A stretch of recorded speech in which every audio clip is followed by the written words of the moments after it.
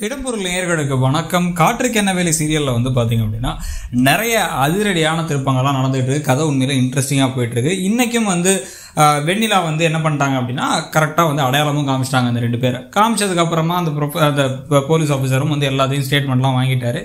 இப்போ அவங்க போராட்டத்தை வந்து கலைச்சலான்னு முடிவு பண்ணும்போது தான் விஸ்வநாதன் உள்ள வந்தார். விஸ்வநாதன் உள்ள வந்து அவர் அந்த போலீஸ் ஆஃபீஸர்கிட்ட பேசி சமாளித்து இந்த கேஸ் அதுக்கு மேலே பர்சியூ பண்ணாமல் இருக்கலாம்னு பார்த்தா அவருங்க அந்த போலீஸ் ஆஃபீஸரும் ஸ்ட்ராங்காக இருக்காரு. இவருக்கு என்ன பண்ணுறதுனே தெரில திரு திருன்னு முடிச்சிட்டு இருக்காரு. என்ன ஒன்று என்கிட்ட ஃபஸ்ட்டு சொல்லுங்கன்னு மட்டும் சொல்லிட்டாரு. ஸோ அவர்கிட்ட ஃபஸ்ட்டு சொல்கிறதுக்கான வாய்ப்புகளும் அதிகம் தான் ஸோ இந்த பக்கம் வந்து போராட்டத்தை கலைச்சிட்டாங்க. போராட்டத்தை கலைச்சி எல்லாரும் சந்தோஷமாயிட்டாங்க. எப்படியும் வந்து ஆட்களை பிடிச்சிருவாங்கன்னு ஒரு நிம்மதி வந்து ஸ்டூடெண்ட்ஸுக்கும் கிடச்சாச்சு. ஆனால் வீட்டில் அவிய நானதி முகத்தை பார்க்க நமக்கே சந்தோஷமாக இருந்துச்சு.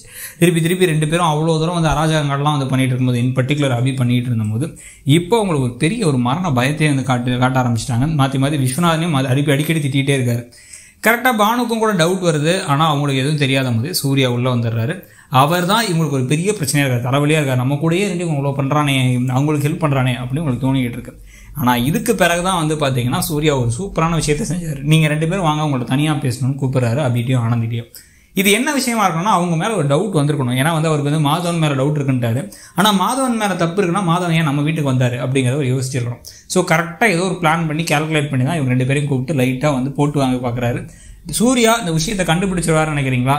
கேஸ் பெருசாகி இவங்க மாட்டாட்டி கூட சூர்யாவுக்கு இந்த உண்மையெல்லாம் தெரிய வந்துடும் நம்புறீங்களா? இல்லையா? அப்படிங்கிறத கமெண்ட் செக்ஷனில் சொல்லுங்கள் தேங்க்யூ இடம்பொருள் நேயர்களுக்கு வணக்கம். காற்று